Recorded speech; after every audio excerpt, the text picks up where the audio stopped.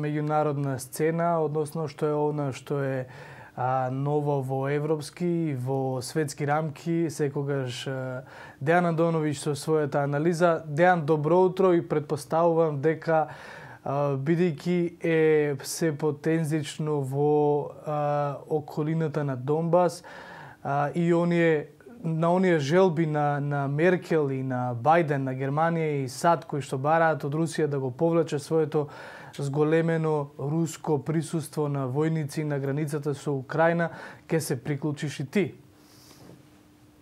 Му така, добар ден прво, односно добро утро. Ништо ново нема, има само пролонгирање на некои состојби кои поради ковид од изминативе 14 месеци малку беа запрени, но очигледно светот се враќа у нормала, барем судејќи според овие тензии кои се случуваат на неколку точки во светот. Денеска мораме да избереме повторно Украина, таа е тука, таа е блиску, европско, американско, руски судир би рекол.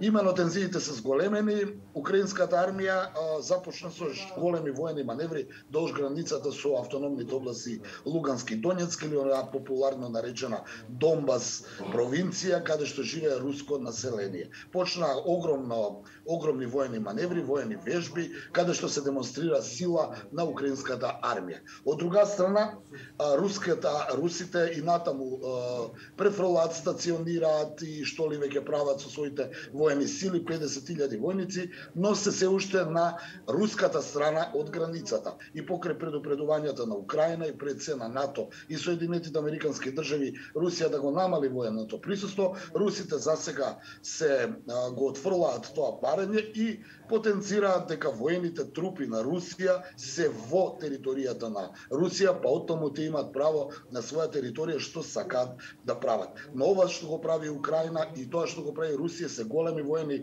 воени формации кои веќе се доближуваат. Она што би рекол дека е мало намалување на состојбата е дека американската морнарица сепак утринава одлучи да не ги упати оние два борбени бродови кои вчера беа најавени како како гест на поддршка на американците, односно американската морнарица за украинската прозападна влада во Киев. Двата борбени брода тргна, но во Босфорскиот дел сепак се откажаа да впловат и да влезат во турските територијални води, што се толкува како мало олеснување на тензиите, бидејќи Чаловски да не се лажеме, доколку и американската морнарица се доближи до руската морнарица, тогаш може да биде сериозен воен конфликт. Сепак, ЦИА предупредува дека а, е можно Путин или рускиот генерал штаб да ја направи веќе својата, своето познато воено сценарио, што го направи и во, во пред 4 години врз полуостровот Крим, односно да изведе брза воена операција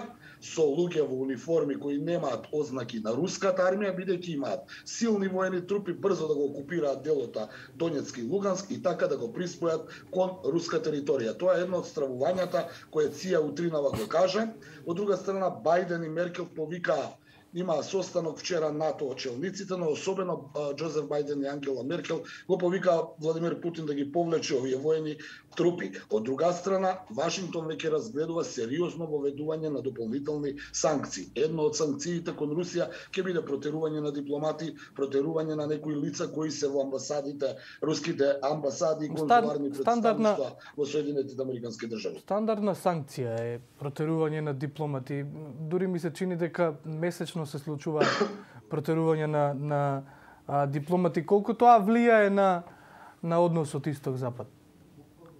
Па да влијае многу, но сепак секогаш анализите велат да ги гледаме и другите работи во позадина, имено а, од аналитичарите и од анализите кои можеше да се видат изминатови денови, не исклучуваат можноста САД да имаат пресмета на ризик со упадот на руските трупи во Донецк. Зошто? Бидејќи така, а, русите би го земале овој дел на Украина, велома ова се шпекулативни анализи, а од друга страна, а Вашингтон ќе има аргумент и дефинитивно да го а, укине оној северен поток кој ќе подсетам од Русија оди за Германија и кој е многу штетен според американските интереси, но и европски бидејќи така, Европа ќе биде енергетски зависна од русите. А ако се енергетски зависни, тогаш Русија ќе може да, да има големо вмешање, руско мешање во европската и балканската политика. Се смета дека доколку Путин влезе во оваа приказна, американците ќе го суспендираат Северен поток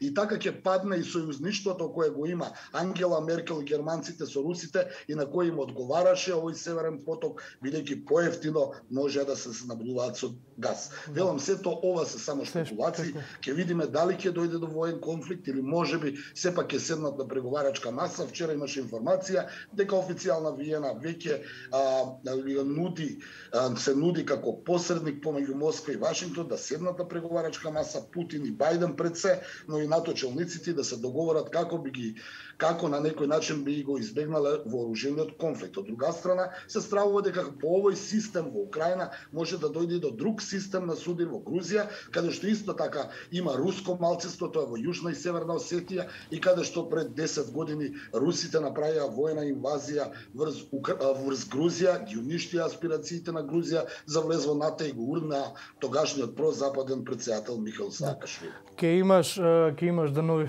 уште уште анализи во поглед на ова прашање, руско-украинското прашање и а, безбедносната загриженост на САД и на, и на Германија. Дејам благодарност за разговорот. Јас и ти овде ќе ќе завршиме меѓународна сцена.